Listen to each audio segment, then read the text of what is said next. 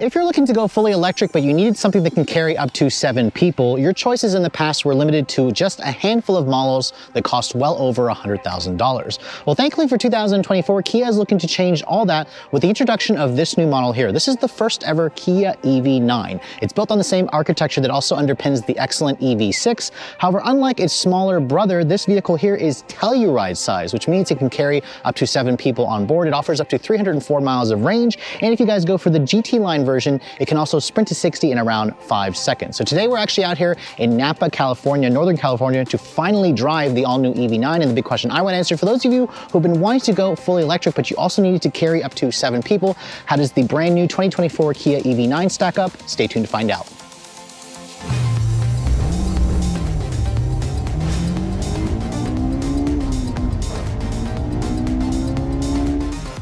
So the million dollar question with a lot of EV vehicles is does this vehicle have a frunk? And because it's built on the same eGMP architecture as the EV6, I'm happy to report that it actually does have a frunk, albeit a somewhat small one, although, although it is bigger than the EV6. Now Kia says there's around 1.8 cubic feet of total storage space under here. And you can see there's also a light. It's definitely a little bit of a smaller area versus some of the more premium luxury competitors. The company actually says if you get for if you go for the single motor version, you'll actually have a larger frunk because it doesn't have that front motor. But but since we're underneath here, let's go ahead and talk about the powertrain specs. Now this model that we're showing you is the top of the line version. It's a GT line, which means it comes standard with dual electric motors, one in the front, one in the rear. It has a 99.8 kilowatt hour battery pack. So this only comes with the bigger battery pack.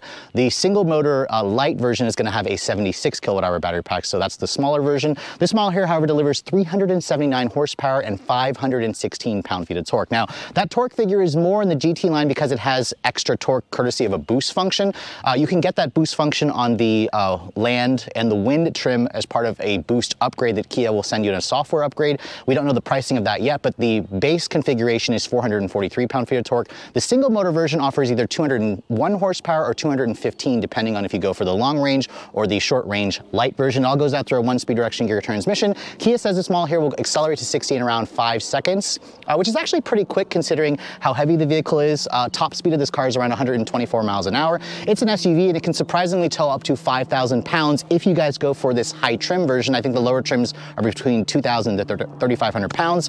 Uh, as this car sits, it weighs in at just over 5,800 pounds. So this thing is about thousand pounds heavier versus the EV6 on which it's built. But let's go ahead and close up the hood and talk about the exterior styling of this vehicle because as you can see, if you guys really like the styling of a Telluride, you're really gonna like the overall look of this car because it kind of has like styling cues that remind me of like a Telluride meets EV6. You can see the front end has Kia's latest front fascia. They call it a digital tiger face. You can see it technically doesn't have a grille because it's an electric vehicle. You have the big Kia logo. This color is also called Deep Ocean Gloss. It's an extra 700 bucks. You can also get it in a matte finish for $1,000 extra, which the matte finish I think actually will give this car even more aggressive lines. Uh, you can see the headlights on this car. This is the GT line, so you have an upgraded headlight where it has kind of the upgraded LEDs with the LED daytime running light and turn signal. There's also this kind of digital light signature here that's only on the up-level land and GT line trims. You can actually change the way that looks. Kia says there are five different options you can choose from uh, that give it a different light signature as you approach the vehicle. You can see the front end of the GT line also is a little bit more aggressive.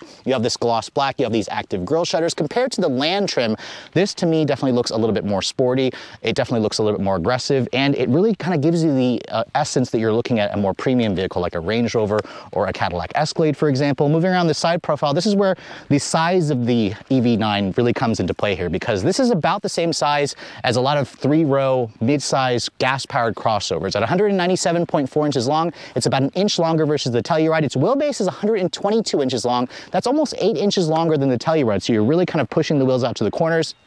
You're gonna get more interior space. This vehicle is around 79 inches wide, so it's a fairly big vehicle. Now, the wheels, the wheels are definitely interesting. Uh, they're part of the whole controversy with the design because you can take your pick between either a 19 or going up to a 21 inch wheel. These are the 21 inch wheels that come standard on the GT line and they have kind of like a squared off look to them. I actually really like them compared to the triangle look that you get on the land trim. You can see it's a 21 inch wheel wrapped in a 285 by 45 with tires. So really fat tires. Kia says they're low rolling resistance, but I have to say they probably probably could have gotten more range out if they went with a smaller wheel. This car also has these body colored black painted wheel arches, which definitely uh, accentuate the kind of squareness of this vehicle. The car actually has around just under eight inches of ground clearance. It has a fixed suspension. There's no air suspension. Kia does say that if you get the towing package, it'll have a self-leveling rear suspension. Now the GT line you can see has power folding mirrors, which are black painted. Uh, also has cameras, of course, with integrated turn signals.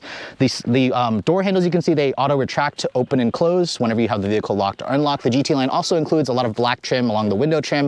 It has this really nice roof rail. It has a dual panoramic sunroof design as well. And then this right here, you can see this reminds me a lot of the EV6, especially how it kind of goes up uh, toward the D pillar there. It's an interesting styling cue, but again, I think it looks really good on the overall lines of this car. Now the charge port door, you're gonna find that right here. You can see it still uses the J1772 plug with the CCS combo. Uh, Kia says this vehicle is the only three-row electric SUV that runs on the 800 volt architecture, which means on a level three, this will accept up to 210 kilowatts. The smaller battery will accept up to 235. Kia basically says you can go from 10 to 80% in about 24 minutes, and it also has an onboard charger uh, that puts out around 10.9 kilowatts. So that'll take you about eight hours on a level two if you guys have a 48 amp system at your home. Now looking at the rear, you can see the design also kind of looks similar to uh, the Opposites United styling theme that we saw on the front fascia. I really like the way the taillights look with the kind of stacked design. It kind of reminds me a little bit of a Volvo, which I think looks good. It's a full LED taillight design. I also like the more aggressive rear spoiler that you get on the GT line. There's also a rear window wiper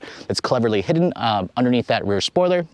It's got the usual badging. The rear diffuser is also a little bit more aggressive. I really like the new Kia badge. It just looks really good with the deep ocean gloss exterior color. Uh, you can also get it, like I said earlier, in a matte finish. Now, in terms of the cargo area, this is a big square SUV, and this is where the EV9 really shines here because as you can see, um, Tommy, who's actually behind the camera, he's got, he and I have all of our stuff back here for filming, and this is around 20.4 cubic feet of total storage space. So it's about the same size as what you're gonna get in a Telluride, uh, which is definitely a great thing. You can see you can also fold this third row seat down, which as you can see, it's also manual folding. I was kind of hoping it'd be powered, but it expands it to around 43 and a half cubic feet. If you fold down the second row, Kia says you get a maximum of 82 cubic feet. That's a little bit less, around five cubic feet less versus the Telluride, but this is one of the most practical three row uh, electric SUVs that you're gonna find, especially for this price. So now let's move on to the interior of this 2024 Kia EV9. Before we get inside, I want to show you guys the key fob. You can see this is a variation of the key that they used on the Stinger a few years ago. It has its buttons on the side for lock, unlock, power liftgate, and panic function. On this side, you can see there's remote start, and you can also activate the, the smart park feature and open up the hood. This car also comes with their digital key 2.0, where you can also use your smartphone as a key. I don't have access to that because this is a uh, very brief media drive. Now, as I approach the car, you can see the car sensed that it automatically deployed the door handles and retracted or uh, un unfolded the mirrors. Now, when you open up the door, you can see the interior of my test car looks really good with the deep ocean blue gloss exterior. This is the gray Syntex. You can see it's a synthetic leather. It has the two-tone look. I love the fact that this area here is the light gray. The black is over here on the inner portion. These seats are heated and ventilated on both the front seats. The heat and ventilation function comes standard on every trim level of the EV9. These seats adjust in 10 different ways on the driver's side, eight different ways on the passenger side, uh, which is nice. And then you also have your controls over here. The door panel material you can see is a soft touch injection molded plastic. There are some recycled materials here, uh, padded Syntex leather over here. You can see you have your heated steering wheel. The massage function is kind of similar to what Genesis puts with the Ergo Motion seat. It's only on the driver's side. It offers five different levels of massage. You have two person memory, heated and cooled seats, like I said. Uh, you have a 14 speaker Meridian sound system, hard touch plastic material down here, but overall it makes a great first impression. Uh, if you guys also don't like this color, Also offers a black or a brown or a navy blue interior, which is kind of unique to the GT line. The GT line also has a more aggressive looking seat with the uh, badging there uh, on the actual seat back itself. Now getting inside, you can see uh, this has a really easy step in height because it has nearly eight inches of ground clearance. As I shut the door, the door has a solid sounding thunk. Ignore that rattle. There's actually stuff in the door here. So let me go ahead and take that out and shut that again. Again, it has a really nice solid sounding thunk, uh, which adds to that impression of quality. Now, as I look inside the interior, you can see it looks uh, pretty similar to a lot of other modern Kias. When you want to start the vehicle up, uh, the button to turn everything on is actually hidden here on the control stalk for the shifter. So it actually shows EV there with a, like a power button. Typically you find it here or find it here. So that will take a little bit of getting used to if you've never been in this car, but put your foot on the brake, you can see turn the vehicle on and it just uh, comes to life. There's no, obviously there's no engine. It just says ready in the instrument panel and it kind of lets you know this vehicle is ready to be driven. Uh, and again, the tech on this car is really impressive. Now, this car has Kia's latest connected services, or they call it Connected Cloud Navigation uh, Services, or CCNC, I believe is what they, it's short for. This has basically uh, their newest software, which includes wireless Apple CarPlay and Android Auto. So this is the first Kia product to get wireless Apple CarPlay and Android Auto. You can see my phone is connected now, uh, which is nice. You have a 12.3 inch display here. You have a new 5 inch climate screen over here in the center, which kind of connects the two screens together. And then you have a 12.3 inch screen here. It makes a great first impression, like I said. Uh, and then in terms of the rest of the materials, you can see the upper dash area has a soft touch material. This portion here, however, is hard touch plastic. There's a heads up display that's a 10 inch diameter heads up display. Uh, that's basically included when you guys go for the GT line package. And then down here, you can see you have this kind of material that feels like a fabric material. There's some beautiful ambient lighting in the background of this. This kind of reminds me a little bit of like a Rivian. It's very modern. It's very sophisticated. It looks very premium. I also love the haptic controls here where it kind of is nicely integrated into this like plastic panel. Uh, these buttons are invisible when the car is not on, but again, it kind of gives you, you know, buttons here with haptic feedback if you want to go back to the home system. You can go to navigation, of course. Uh, that's all very nice. Um, so I really like how, kind of clean look. The last time I saw something like this, I was in a Nissan Ariya. You can see there's a big volume knob here, which is nice. You have dual tri-zone temperature control, which is standard. Uh, I like how Kia mixes like in hard buttons with haptic buttons and touchscreen control. Your USB charging ports are all down here. I also like how the air vents are traditional instead of those uh, dash vents uh, or vents where you have to adjust it through the screen. Uh, and then in terms of the steering wheel, you can see this is a new steering wheel. It's got a flat bottom and a flat top design. It also has a power tilt and telescoping function. You get that when you go for the two top trims, which is the Land and the GT line. Uh, the steering wheel itself also has an illuminated Kia logo. So that logo is in, that's illuminated is only on the top trims. Like I said, it has paddles on the wheel. It has your controls to control the screen there, to control your audio functions. And then it's got those paddles for the regen braking.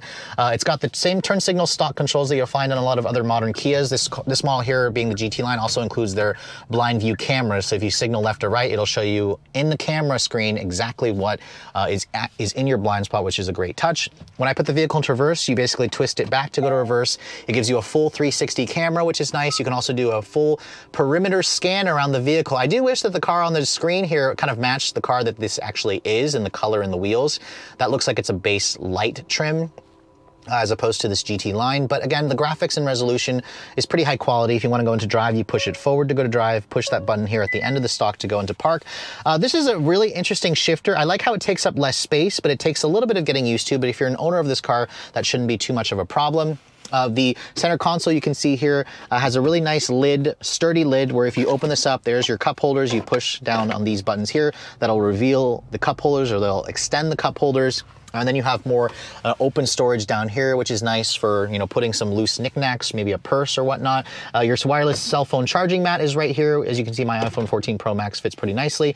You have buttons over here for your auto hold, hill descent control, and then your 360 camera. Again, you can also turn on and off the parking sensors. This car also comes with a feature where you can lock it in like all-wheel drive. Remember, this is this has two electric motors, so I imagine it does like an even um, split in terms of the torque. And then if you want to push that button here, there are four different drive modes. There's a Sport, My Drive, Snow, Eco, and Normal. And typically when you put it in this mode, it actually will change the way the gauge cluster looks, although I believe this car has the setting turned off uh, to kind of stay in a certain gauge cluster, so it kind of will customize that if you guys would like.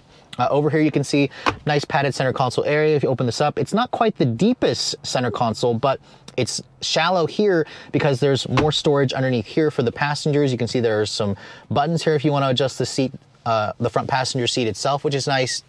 Uh, over here, there's a digital camera rearview mirror, which is included on the top trims. I really like that feature, especially if you plan to, you know, put stuff to the roof or if you have really tall passengers back there. The glove compartment is massive, actually. It's a bin style, it's stamped and it's lined with felt. It actually also has another second level of storage in there, uh, which is a nice touch. The 14 speaker Meridian sound system also sounds pretty good. If you guys are an audiophile, I recommend checking that box versus the standard 8-inch system that you get in the lower trims. The seats are also comfortable and supportive. They're a little bit more aggressively bolstered. Uh, they also have like a relax function where there's an ottoman where it power it power out. So technically, this seat here is probably a 10-way, and this right here is a 12-way because of the additional adjustments. Uh, for a fake leather material, I have to say it's a really nice feeling leather, uh, especially if you guys plan to take a lot of long trips. It feels really high quality and durable. Above me here, there's actually a suede material for the headliner, and you also have uh, these controls here for the ambient or the map lighting, which is all LED. And then you can see here, there's also a standard sunroof here. There's also a dual sunroof. This actually opens up as well like in the traditional sense to kind of, kind of vent air if you guys would like that. The back over there, as you can see, which I'll show you later, has just a fixed glass, glass roof panel. But overall, the interior definitely makes a great first impression. I really love the way the new software looks here. It's quick and snappy. It's easy to use. The CarPlay also is finally wireless, which is great and it just looks fantastic. This screen here for the climate function, however, I have to say, it doesn't quite match the look of the two screens to the left and to the right of it because it's technically not a full digital display. It just has graphics that look a little bit different, but I like how Kia kind of gave us a separate climate screen here instead of burying it into the actual screen here. If you go back to the home system here, um, if you want to adjust some settings, you can basically do that from over here uh, and it allows you to kind of customize everything to your liking. But overall, the interior, like I said, high quality materials, good visibility, comfortable seats, lots of space, which is what's important. And really, it just kind of reminds me of, you know, a next generation version of the Telluride. So if you guys like the Telluride, you'll really like the interior of the EV9. Now moving into the back seat, this vehicle is a three-row uh, family SUV, and this is where Kia, again, spent a lot of time making sure that the EV9 would appeal to families out there, especially if you're coming from a Telluride. You can see my particular test car here has the recliner power adjustable captain's chair. So these seats adjust in eight different ways. They are also heated and ventilated. They also come with that retractable power out ottoman, as you can see. If I push this button here, it'll retract out the ottoman. You can also recline it. So this kind of reminds me a lot of the seats that you'll find in something like the Kia Carnival. So that's a really great feature. These seats, however, are $2,000 extra and they also do eat into the space of the third row. Now, if you guys want a bench seat, you have to step down to the light trim or the wind trim. If you guys go the, with the, any of the other trims, the light long range, the land, or the GT line, so the upper trims will only come with the captain's chairs, which means they only seat uh, six people as opposed to seven. You can see the door panel material, same materials from the front seats. Uh, the heated and cooled seat control button is here. You have aluminum accented door handles, some gray painted plastic, padded area here, along with more ambient lighting. Uh, and overall, it just shows you a ton of space. In fact, there's around 42 inches of legroom back here, which is basically the same as you get in a Telluride. So that's basically among the best in the segment if you guys are looking for second row uh, comfort in terms of space and whatnot. Now getting back here, you can see um, it's really easy to get back here as I shut the door. The door, also, the door also has a nice solid sounding thunk. You can see some of the ambient lighting. Uh, looks fantastic back here. Again, it all just gives you kind of the impression that you're in like a first class style seating. Now you can see there are storage pockets over here. Uh, and then I mentioned earlier that is very narrow and that's because if I pull this out, there's actually a little bit of like a tray table here. And then you can also push this back and it reveals a pretty deep center console storage area. So you can store some loose items in here. I do wish the storage was a little bit more organized. It's just kind of like a big bin. You just throw things in here. But it's nice that Kia, again, gives you that, that feature. You have two USB-C charging ports here. On each of the seat backs, you have tri-zone climate control where the rear seat gets its own set of climate controls. You have rear seat air vents. You have ambient LED map lighting. And then this door or this like material or this roof here is fixed, but you can close and open up that shade, which is nice. The armrest is also adjustable which is good. You have these kind of wing out head restraints that basically allow you to turn this almost into like a pillow. And then if you want to move the seat forward and back, you can do that via the little control over here, which is nice.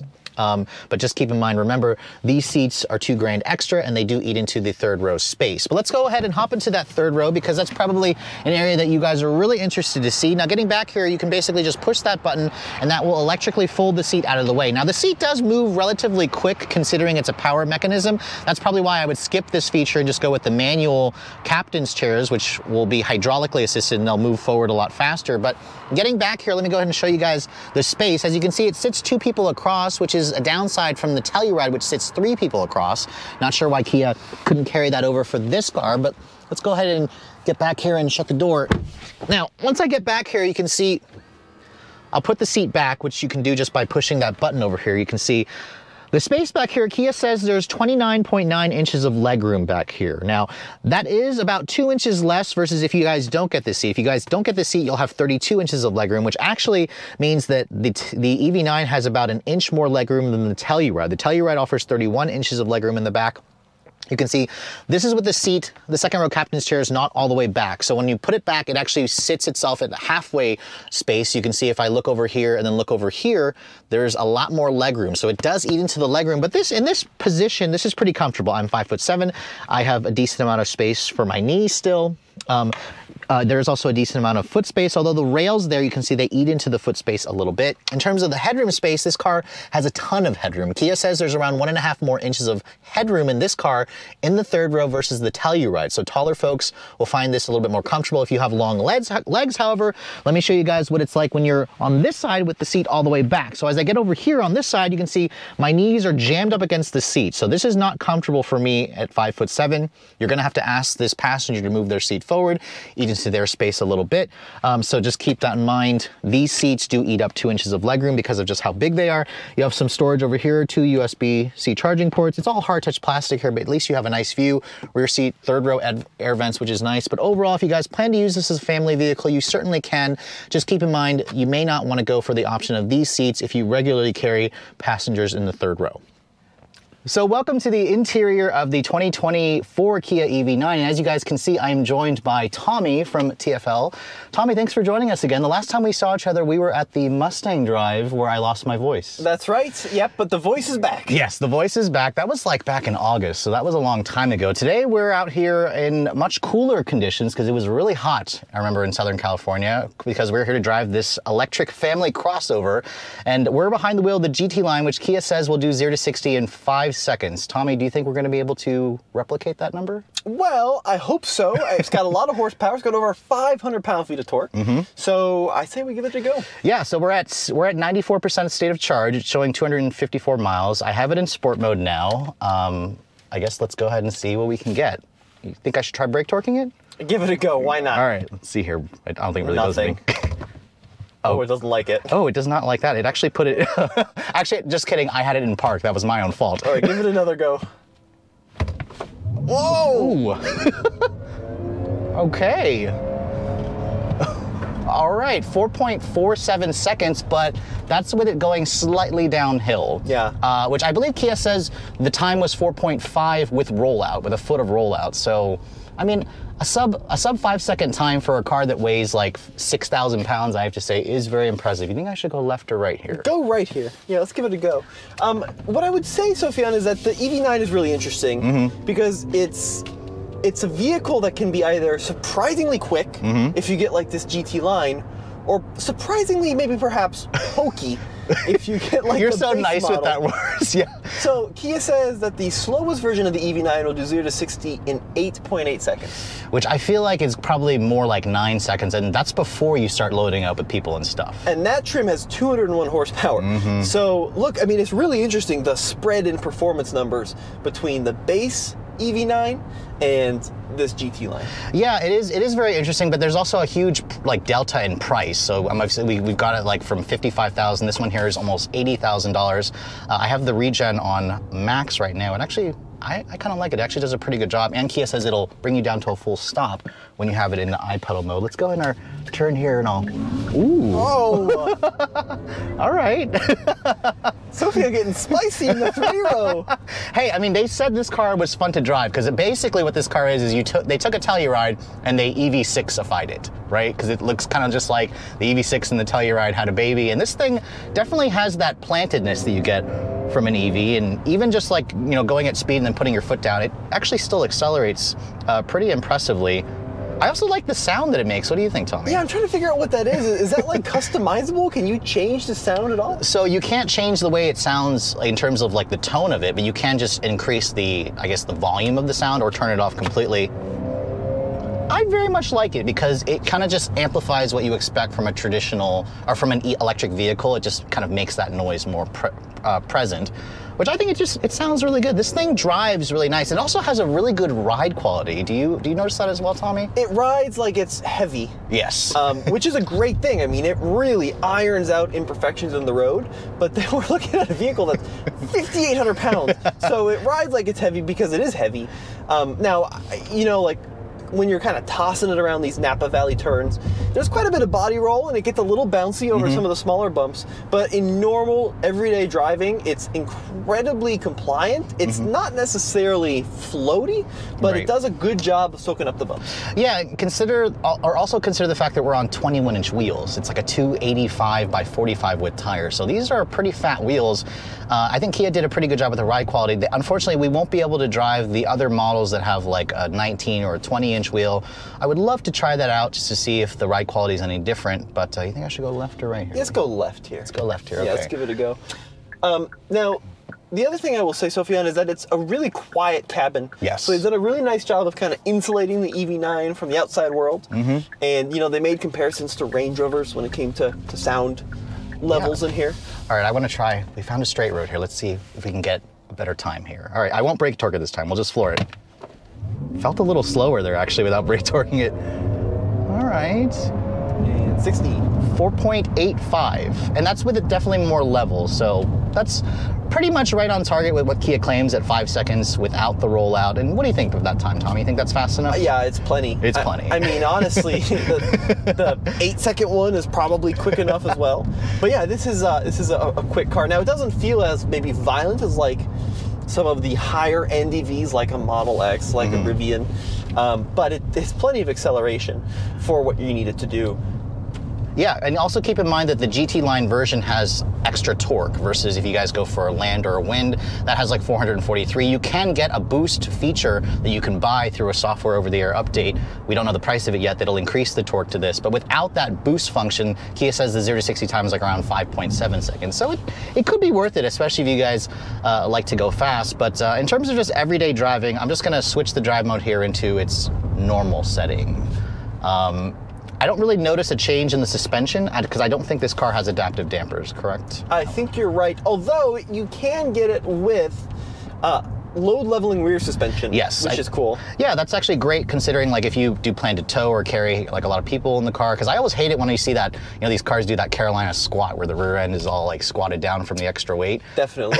but uh, but no, I mean I think that the the ride quality is good. It's quiet in here, like you said. I also kind of really like the seats in this car as well. The seats they feel really plush, really comfortable. I'm also sitting here getting a massage. Unfortunately, Tommy, you don't have a massage function. And look at that, Oh my gosh. a Fisker Ocean. Someone bought one. Someone bought one, but we are here in California, which is probably where you're going to find all the latest and coolest and newest EVs and such. But but why would you buy this? You buy it because there's too many Teslas on the road in California and everywhere, and you want something that's different, which is kind of like this car, because I think this car looks fantastic, uh, especially in this deep ocean blue. People really love the Telluride. Kia basically kind of, you know, used that styling to kind of design this car.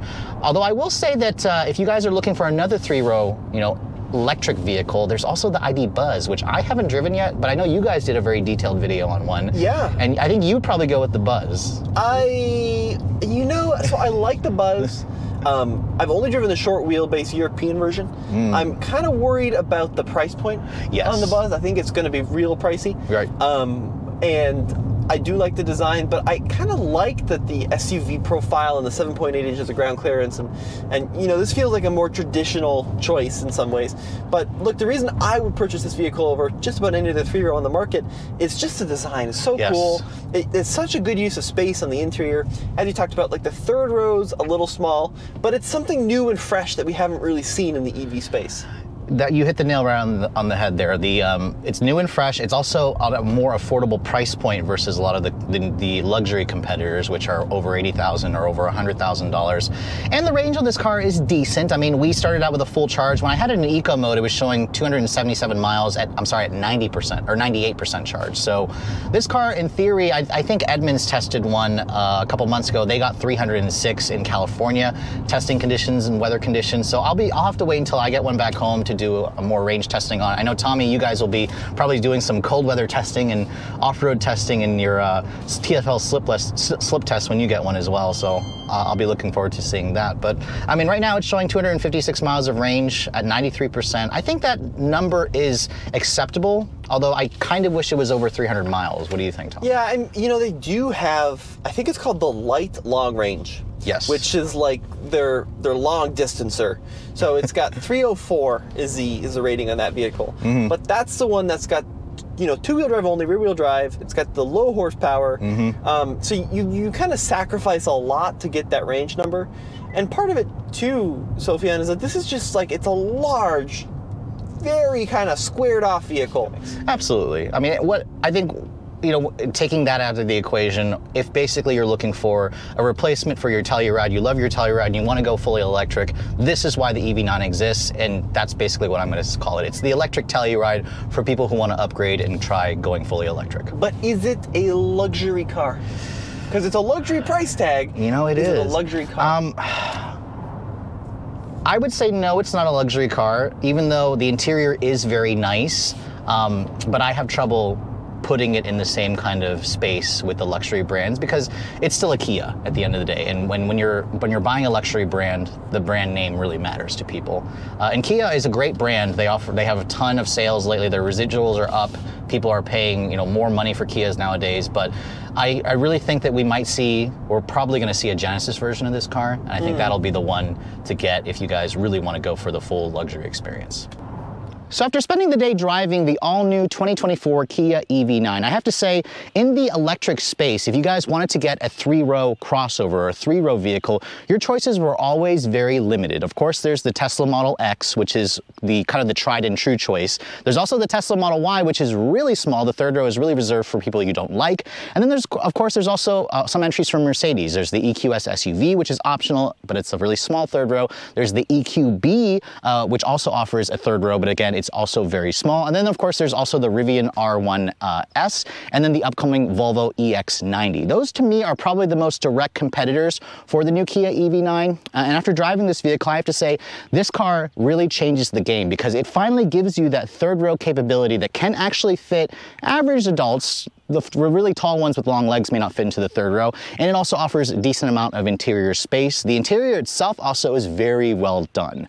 Uh, very premium materials, lots of space, lots of great technology. I love how Kia's latest infotainment system finally includes wireless Apple CarPlay and Android Auto with wireless over-the-air updates. Uh, the second row seat basically is, ni is nice as the front seat. However, the third row, uh, while it is comfortable, I probably would skip the power folding option or the power reclining option, save myself $2,000 and get additional space in the third row. That would just be me personally. If you guys really like that feature, Kia again obviously offers that for those of you who like it. In terms of acceleration, obviously I only got to drive the GT line today, but 0 to 60 in uh, under 5 seconds is going to be very quick. I, I imagine though if you guys load this up with people and stuff or you start towing with it, you're probably going to start to notice the additional weight slowing the vehicle down. I haven't had a chance to drive the base light versions with the 201 horsepower, 215. I suspect that's probably going to feel a little bit taxed. So for me personally, I would at least go for the wind trim with all-wheel drive. And if you guys are looking to purchase this vehicle, they are already at Kia dealerships now. The company says that eventually, later this year, they will be building this car in Georgia, at their plant in Georgia. Right now, however, they are built in Korea, which means it's not going to qualify for the full $7,500 tax credit if you guys buy this car, but they're saying by late summer this year, it will be built in Georgia, and it should start to qualify for that tax credit if you guys wait for, the, for Kia to move production. In terms of the base price, this car starts at around $54,900 for the base light with rear-wheel drive. That's around the same price as a fully loaded version of a Kia Telluride. So it's kind of interesting how Kia put the pricing uh, there. If you guys want the long range version, that's the one that'll do 304 miles of range. That's gonna cost you around $4,500 extra, so just around $60,000 for that model. That's still only rear wheel drive. If you guys want all wheel drive, the Wind only comes with all wheel drive. That's the cheapest way to get all wheel drive. That starts at around 64 grand. So it's about 10,000 more than the base version of the EV9. And I think that one might end, end up being the sweet spot. The land trim is basically like the Wind, but it adds bigger wheels, like a premium package. That's gonna cost you around 70 grand. This model here, however, is getting pricey because the GT line, while it does include a lot of you know bells and whistles and more aggressive styling and more power, uh, this car starts at around 73 grand with the upcharge for those power reclining seats, the destination charge, and the upcharge for the paint. We're looking at just under $79,000. I know 79 grand for a Kia definitely sounds like a lot of money, but if you guys are comparing it to the Rivian and the Mercedes, those are going to cost you around $80,000 to $100,000. The Model X is around $80,000 as well, which is kind of where this car is fully loaded. So in reality, if you guys are looking at this vehicle, you could also look at one of the more luxury options and not really spend that much more. So the decision is really up to you. Me personally, I think the sweet spot may end up being like the Land or the Wind trim. For those of you who want to spend in the mid $60,000 range, I think this is definitely worth a look. But with all that said, I hope you guys have enjoyed my full overview on the brand new 2024 Kia EV9 in this GT line trim. If you're also looking to see the latest cars I'm testing, be sure to follow me on Instagram at redline underscore reviews, like us on Facebook, and as always, guys, please keep subscribing to the Redline Reviews YouTube channel for all the latest reviews. Thank you so much for watching. I'll catch you all in the next video.